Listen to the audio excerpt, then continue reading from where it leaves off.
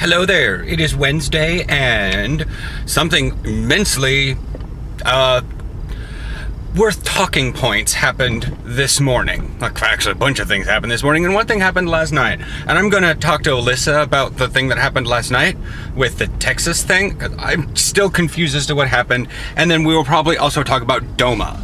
And if I'm going to be talking about gay marriage, it better be best from the bridge of my Prius. So, yeah, I have no idea. It's Alyssa now. I have no idea what went on with the Texas governess lieutenant thing. I don't know. Her Tumblr exploded last night.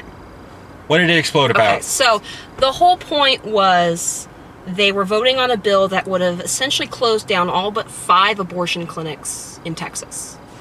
They were going to make it illegal to have an abortion after 20 weeks because one of the senators decided that fetuses can feel pain at 20 weeks, which is bullshit and has no scientific backing. Anyways, um, okay. the I read the science on it. They think that you you start to form nerves at 20 weeks, but they don't think you feel actual pain till 24 weeks, which is Oh. the current cutoff. Okay. 24 weeks. Anyways, so the Wendy Davis is a senator in the minority in the Texas Senate, so she has the ability to filibuster this. So yesterday at about 11 a.m., Is she Republican or Democrat? she's Democratic. Democratic. Duh, it's Texas. it's That's Texas. the minority. Repub- the, the Republicans are the majority there. They were going to vote on it. It was going to pass. Governor What's His Bucket says that he was going to sign it if it got to his office. oh, that's it's the- Rick something. S- No, not Santorum. The other guy. It's Rick. The guy um, who ran for Republican president. guy. Perry, yeah. Perry. Perry. Perry. Perry's the governor, and he said if it gets to him, he will he will just sign it. So she said, "Screw this! I'm not letting them close down all these clinics because half the clinics weren't even abortion clinics. Any medical office or medical clinic that provided abortion services was going to get shut down. People of color, uh, poor people, poor women, yeah, no, They would lose. they'd lose medical care." So she decided to filibuster it, and the filibuster is you have to talk until the end of the session, which is at 11:59 at night. Oh, I read the rules that like someone had posted the rules that they Yeah. have to stay standing, they can't lean on the podium, Yeah. they can't take food breaks, they can't take bathroom breaks, which is probably why I thought somebody had And the stupid thing Leaked. is, yeah, no, the stupid thing is, is that filibusters have happened a billion times. Oh, that happened in- like in the Senate or like in Congress. Someone filibustered by reading out of the phone book, but they wouldn't let her do that. She had to be on topic the entire 13 Well, I, hours. be- I believe that that's part of the Texas one. It could be, yeah. D- Anyway, each state has their own She had to stand there for 13 hours. She got a. It's a three strikes you're out thing. If you get three warnings, they end the filibuster. Okay. She got a warning for someone trying to put a back brace on her because her back was hurting so bad. Um, she got interrupted at one point by by one of the other senators. And then what happened is they were real, we were about an hour from the end. Another female senator has shown up from her father's funeral, and I can't remember her name. She's a, a Latina senator in Texas, and she says though, and she's trying to get the president's attention because they're allowed to speak in between if like they have a point they want to bring up. And finally, she says the words. There, or, well, okay, I can't remember the exact quote. You can Google it, but she said something to the effects of, "Why is it that I have to speak up and raise my hand to be heard over my male colleagues?" And the floor went bonkers. And it tried to call everyone to order, and the people that were up in the stands started screaming liberty over and over and over again.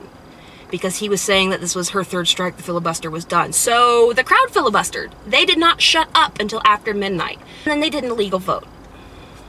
Okay. The president and the ones that were going to vote for the bill, they didn't tell anyone what they were voting for.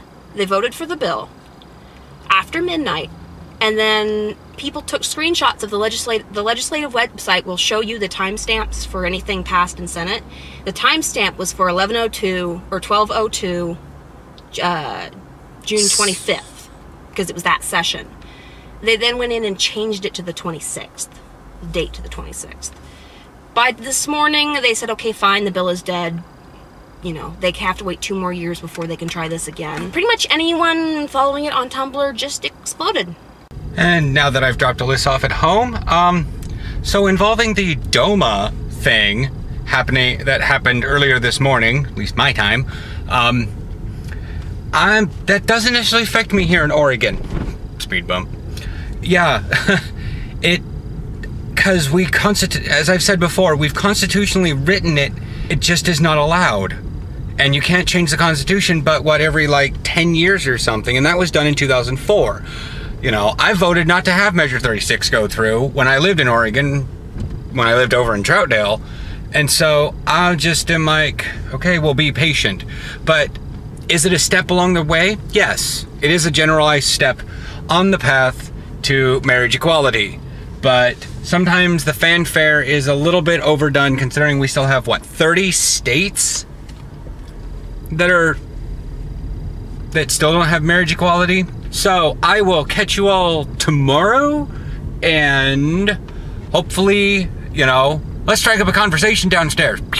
There's, uh, unless there's haters that want to find this video and poop all over it, but you know, that's that. I will chit chat with you all tomorrow. Bye.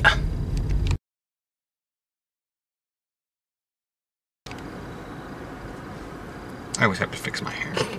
Me? I don't care. I know I'm fuzzy.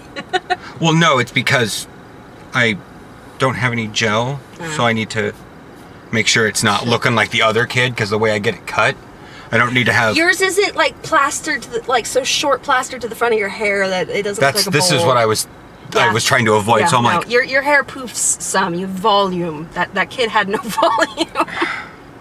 None whatsoever. he has helmet head, He- literally. It's helmet head. Anyways, My brother used to get that haircut. So-